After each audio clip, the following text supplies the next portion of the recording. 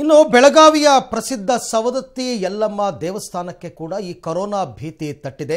ಇವತ್ತಿನಿಂದ ಎರಡು ವಾರಗಳ ಕಾಲ ದೇವಸ್ಥಾನಕ್ಕೆ ಭಕ್ತರ ಪ್ರವೇಶವನ್ನು ನಿರ್ಬಂಧ ಮಾಡಲಾಗಿದೆ.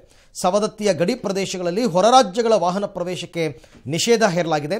ನಿನ್ನೆ ನಡೆದ ವ್ಯವಸ್ಥಾಪನಾ ಸಮಿತಿ ಸಭೆಯಲ್ಲಿ ಈ ನಿರ್ಧಾರವನ್ನು ಕೈಗೊಳ್ಳಲಾಗಿದೆ. ಇನ್ನು ಅರ್ಚಕರು ಎಂದಿನಂತೆ ಪೂಜಾ ಕಾರ್ಯಗಳನ್ನು ನಡೆಸಲಿದ್ದು, ಭಕ್ತರು ದೇವಾಲಯಕ್ಕೆ ಬರದಂತೆ ದೇವಸ್ಥಾನದ ಕಾರ್ಯನಿರ್ವಾಹಕ ಅಧಿಕಾರಿ ರವಿ ಕೋಟಾರಗಸ್ತಿ ಮನವಿ ಮಾಡಿದ್ದಾರೆ.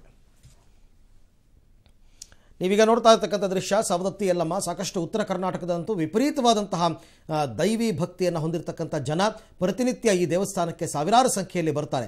ಆದರೆ ಕರೋನಾ ಭೀತಿ ಈ ದೇವಸ್ಥಾನಕ್ಕೆ ಕೂಡ ತಟ್ಟಿದೆ. ಇವತ್ತಿನಿಂದ ಎರಡು ವಾರಗಳ ತನಕ, ನೆನಪಿರಲಿ, ಇವತ್ತಿನಿಂದ ಎರಡು ವಾರಗಳ ತನಕ ದೇವ, ದೇವಸ್ಥಾನಕ್ಕೆ ಭಕ್ತರ ಪ್ರವೇಶ ಇಲ್ಲ. ಅಂದರೆ ಭಕ್ತಾದಿಗಳೇನಾದರೂ ಈ ಕಡೆಯಿಂದ ಹೋಗೋರಿದ್ದರೆ ಹೋಗಬೇಡಿ, ಯಾಕೆಂದರೆ ಭಕ್ತರ ಪ್ರವೇಶ ಇಲ್ಲ. ಸವದತ್ತಿಯ ಗಡಿ ಪ್ರದೇಶಗಳಲ್ಲಿ ಹೊರರಾಜ್ಯಗಳ ವಾಹನ ಪ್ರವೇಶಕ್ಕೆ ಕೂಡ ನಿರ್ಬಂಧವನ್ನು ಹೇರಲಾಗಿದೆ.